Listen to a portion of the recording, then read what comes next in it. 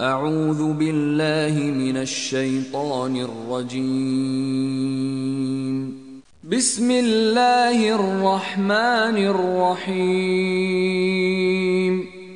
اور جب ان کے پاس خدا کی طرف سے پیغمبر آخر الزما آئے اور وہ ان کی آسمانی کتاب کی تصدیق بھی کرتے ہیں، تو جن لوگوں کو کتاب دی گئی تھی، ان میں سے ایک جماعت نے خدا کی کتاب کو پیٹ پیچھے پھینک دیا۔ گویا وہ جانتے ہی نہیں۔ اے محمد صلی اللہ علیہ وآلہ وسلم، ہم نے تمہاری طرف اسی طرح وہی بھیجی ہے، جس طرح نوح اور ان سے پچھلے پیغمبروں کی طرف بھیجی تھی۔ اور ابراہیم اور اسماعیل اور اسحاق اور یعقوب اور اولاد یعقوب اور عیسیٰ اور ایوب اور یونس اور ہارون اور سلیمان کی طرف بھی ہم نے وہی بھیجی تھی۔ اور داؤد کو ہم نے زبور بھی عنایت کی تھی۔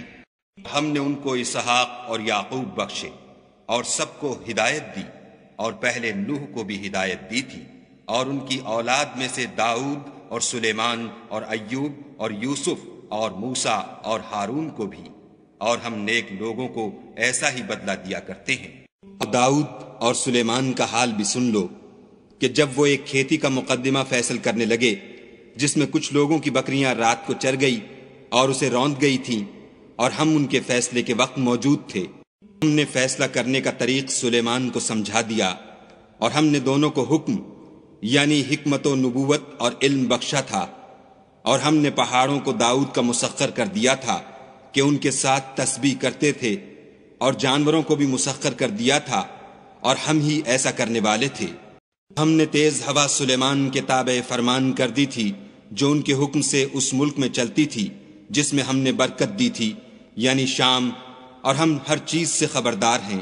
اور نے داؤد اور سلیمان کو علم بخشا، اور انہوں نے کہا کہ خدا کا شکر ہے جس نے ہمیں اپنے بہت سے مومن بندوں پر فضیلت دی۔ اور سلیمان داؤد کے قائم مقام ہوئے، اور کہنے لگے کہ لوگوں، ہمیں خدا کی طرف سے جانوروں کی بولی سکھائی گئی ہے، اور ہر چیز عنایت فرمائی گئی ہے۔ بے شک یہ اس کا سریح فضل ہے۔ اور سلیمان کے لیے جنوں اور انسانوں اور پرندوں کے لشکر جمع کیے گئے اور وہ قسم وار کیے گئے تھے۔ یہاں تک کہ جب چونٹیوں کے میدان میں پہنچے تو ایک چونٹی نے کہا کہ چونٹیوں اپنے اپنے بلوں میں داخل ہو جاؤ۔ ایسا نہ ہو کہ سلیمان اور اس کے لشکر تم کو کچل ڈالیں اور ان کو خبر بھی نہ ہو۔ وہ اس کی بات سے ہنس پڑے اور کہنے لگے کہ اے پروردگار، مجھے توفیق عنایت کر۔ کہ جو احسان تو نے مجھ پر اور میرے ماں باپ پر کیے ہیں، ان کا شکر کروں۔ اور ایسے نیک کام کروں کہ تو ان سے خوش ہو جائے اور مجھے اپنی رحمت سے اپنے نیک بندوں میں داخل فرما۔ جب انہوں نے جانوروں کا جائزہ لیا تو کہنے لگے، کیا سبب ہے کہ ہد ہد نظر نہیں آتا؟ کیا کہیں غائب ہو گیا ہے؟ میں اسے سخت سزا دوں گا یا ذبح کر ڈالوں گا یا میرے سامنے اپنی بے قصوری کی دلیل سریح پیش کرے۔ تھوڑی ہی دیر ہوئی تھی کہ ہد ہد آ موجود ہوا اور کہنے لگا کہ مجھے ایک ایسی چیز معلوم ہوئی ہے جس کی آپ کو خبر نہیں اور میں آپ کے پاس شہر سبا سے ایک یقینی خبر لے کر آیا ہوں۔ میں نے ایک عورت دیکھی کہ ان لوگوں پر بادشاہت کرتی ہے اور ہر چیز اسے میسر ہے اور اس کا ایک بڑا تخت ہے۔ دیکھا کہ وہ اور اس کی قوم خدا کو چھوڑ کر آفتاب کو سجدہ کرتے ہیں۔ اور شیطان نے ان کے اعمال انہیں آراستہ کر دکھائے ہیں اور ان کو رستے سے روک رکھا ہے۔ بس وہ رستے پر نہیں آتے اور نہیں سمجھتے کہ خدا کو جو آسمانوں اور زمین میں چھپی چیزوں کو ظاہر کر دیتا اور تمہارے پوشیدہ اور ظاہر اعمال کو جانتا ہے، کیوں سجدہ نہ کریں؟ خدا کے سوا کوئی عبادت کے لائق نہیں، وہی عرش عظیم کا مالک ہے۔ سلیمان نے کہا اچھا ہم دیکھیں گے تو نے سچ کہا ہے یا تو جھوٹا ہے؟ یہ میرا خط لے جا اور اسے ان کی طرف ڈال دے۔ پھر ان کے پاس سے پھر آ اور دیکھ کہ وہ کیا جواب دیتے ہیں۔ مکہ نے کہا کہ دربار والوں میری طرف ایک نامہ گرامی ڈالا گیا ہے۔ وہ سلیمان کی طرف سے ہے اور مضمون یہ ہے کہ شروع خدا کا نام لے کر جو بڑا مہربان، نہایت رحم والا ہے۔ بعد اس کے یہ کہ مجھ سے سرکشی نہ کرو اور متی و منقاد ہو کر میرے پاس چلے آؤ۔ سنا کر کہنے لگی کہ اے اہل دربار، میرے اس معاملے میں مجھے مشورہ دو۔ جب تک تم حاضر نہ ہو اور صلاح نہ دو، میں کسی کام کو فیصل کرنے والی نہیں۔ وہ بولے کہ ہم بڑے زور آور اور سخت جنگجو ہیں اور حکم آپ کے اختیار ہے، تو جو حکم دیجیے گا، اس کے معال پر نظر کر لیجیے گا۔ اس نے کہا کہ بادشاہ جب کسی شہر میں داخل ہوتے ہیں تو اس کو تباہ کر دیتے ہیں اور وہاں کے عزت والوں کو ذلیل کر دیا کرتے ہیں اور اسی طرح یہ بھی کریں گے۔ اور میں ان کی طرف کچھ تحفہ بھیجتی ہوں اور دیکھتی ہوں کہ قاصد کیا جواب لاتے ہیں۔ جب قاصد سلیمان کے پاس پہنچا تو سلیمان نے کہا، کیا تم مجھے مال سے مدد دینا چاہتے ہو؟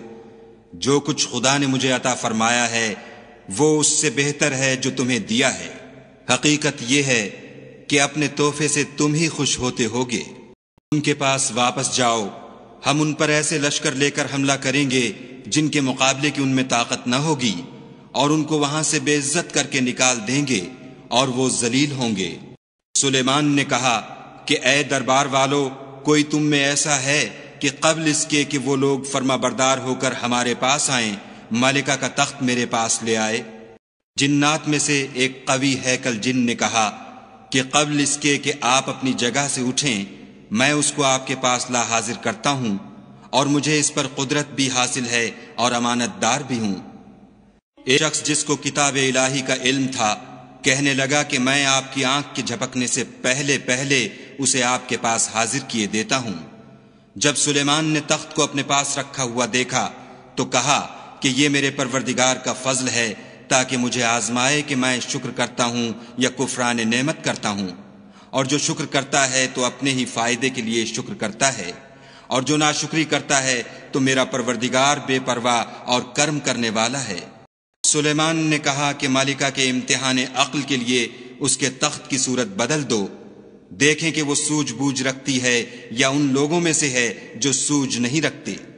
وہ جو چاہتے یہ ان کے لیے بناتے یعنی قلعے اور مجسمے اور بڑے بڑے لگن جیسے تالاب اور دیگیں جو ایک ہی جگہ رکھی رہیں، اے داؤد کی اولاد، میرا شکر کرو اور میرے بندوں میں شکر گزار تھوڑے ہیں۔ پھر ہم نے ان کے لیے موت کا حکم صادر کیا، تو کسی چیز سے ان کا مرنا معلوم نہ ہوا، مگر گھن کے کیڑے سے جو ان کے اصا کو کھاتا رہا، جب اصا گر پڑا، تب جنوں کو معلوم ہوا اور کہنے لگے کہ اگر وہ غیب جانتے ہوتے تو ذلت کی تکلیف میں نہ رہتے۔ پہلے سبا کے لیے ان کے مقام بود و باش میں ایک نشانی تھی یعنی دو باغ، ایک داہنی طرف اور ایک بائیں طرف۔ اپنے پروردگار کا رزق کھاؤ اور اس کا شکر کرو۔ یہاں تمہارے رہنے کو یہ پاکیزہ شہر ہے اور وہاں بخشنے کو خدا غفار۔ انہوں نے شکر گزاری سے منہ پھیر لیا۔ بس ہم نے ان پر زور کا سیلاب چھوڑ دیا۔ اور انہیں ان کے باغوں کے بدلے دو ایسے باغ دیے جن کے میوے بد مزہ تھے اور جن میں کچھ تو جھاؤ تھا اور تھوڑی سی بیریاں۔